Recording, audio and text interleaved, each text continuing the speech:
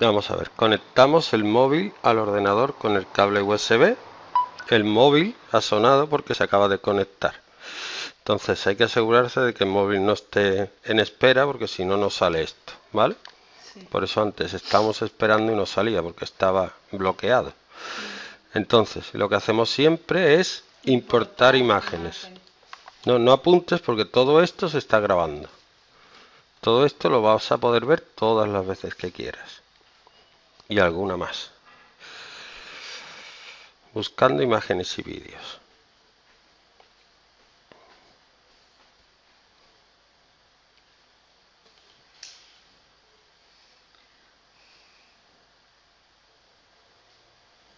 Está buscando, yo lo dejo.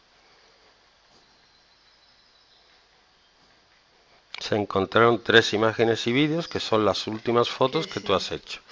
Aquí se pone el nombre de la carpeta donde se van a guardar las fotos que se van a importar. Les voy a poner, por ejemplo, ¿qué le pongo?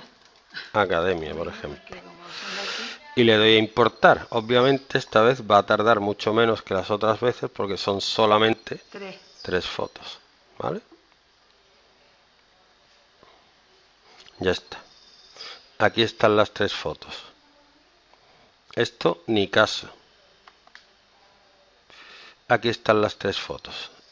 Y se abren automáticamente con la galería fotográfica de Windows. Voy a ver dónde están realmente las fotos, ¿vale? Imagínate que me voy, cierro el ordenador, vuelvo mañana. Mm. ¿Dónde están las últimas fotos que importé? Voy a ver si están aquí en iPhone.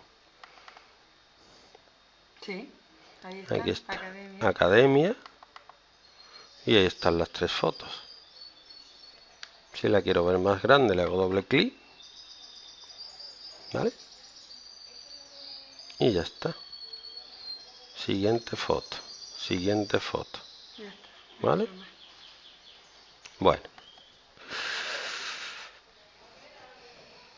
Eso es una cosa.